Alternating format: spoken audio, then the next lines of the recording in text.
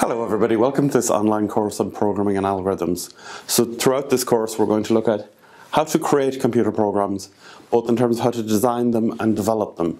And we'll design them using algorithms and we'll develop them using a programming language.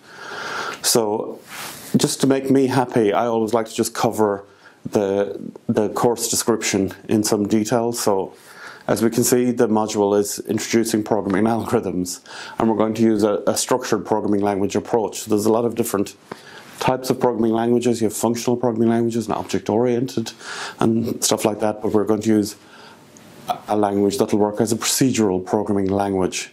And just to say, if you're doing this course, it doesn't. We assume you don't know anything about programming at all anymore, and the goals are to teach you how to program and be familiar with some commonly used programs and algorithms. So on completion of this module, the learner will be able to design and write computer programs, use a, a text editor and an IDE or integrated development environment, um, divide the program into different parts or modules as they're called, test computer programs and then implement some commonly used algorithms or recipes for programming.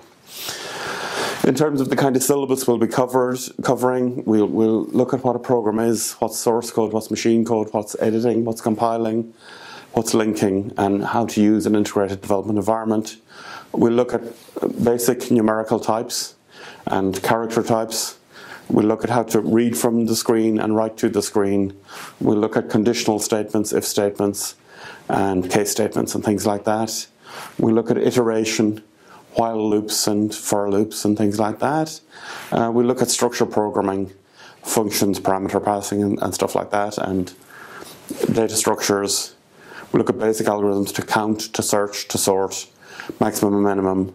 We'll look at uh, different ways of doing those sorts, and we look at testing and debugging and how to document.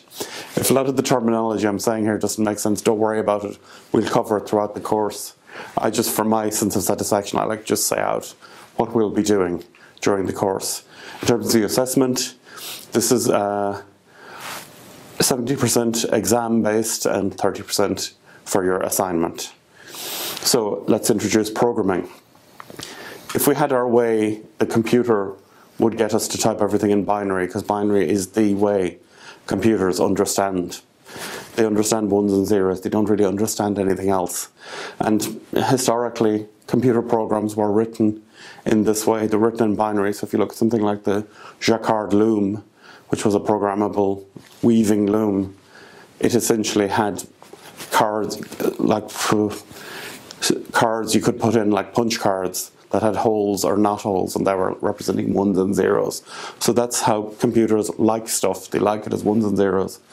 Unfortunately, humans aren't good at strings and strings of ones and zeros. So eventually, after a while, people created a language to help bridge the gap between what would, would be considered um, understandable for a computer and understandable for a human.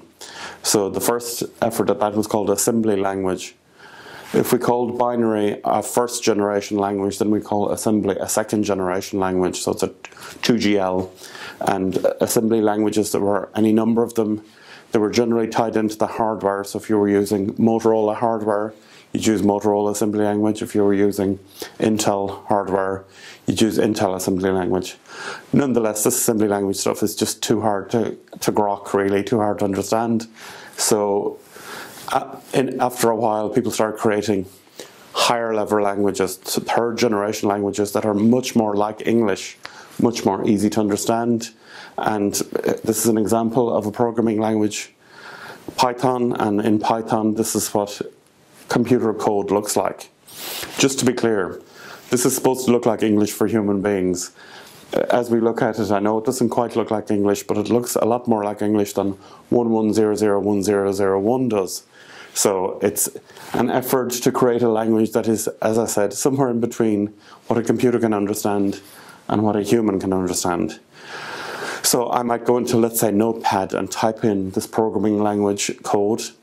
Then I'll run it through a program called a compiler that converts it from the, the, the programming language, in this case Python, into binary. Why do I compile the code? I compile the code so that the computer can understand what I'm doing. So the purpose of compiling code is to convert it from what is understandable by humans in this 3GL into binary, which the computer can understand. So we either compile or link code. Linking code means it's approximately the same thing, so that the computer can understand it. And in Python, for example, Python has a, Uh, instead of writing your code in Notepad, it has what's called an interactive development environment. And its interactive development environment is called IDLE. And in IDLE, it, its IDE, you're able to write code, same as you would in Notepad, but as we can see, it colors different words that it recognizes as being important and it gives you clues and hints as to how you'd write the programming language. So that's really helpful to have one of these interactive development environments because it allows you to write code and spot errors as you're going along.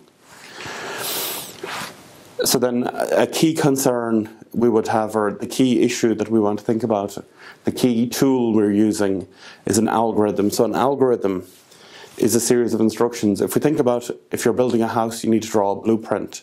So the algorithm is the blueprint for the program. Uh, if we think about music, a musical score is an algorithm for a, a song.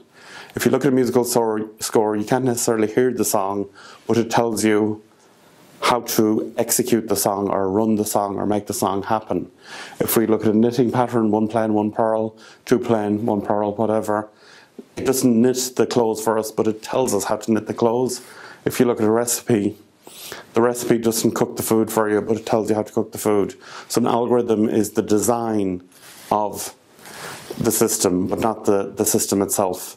So eh, for us, we're going to use, uh, we're going to describe our algorithms not using musical notation, not using knitting pattern notation, not using knitting recipe notation. We're going to use uh, something called pseudocode to describe our algorithms. And then from pseudocode, we'll convert it into a programming language of our choice. And algorithms allow us to break things down essentially.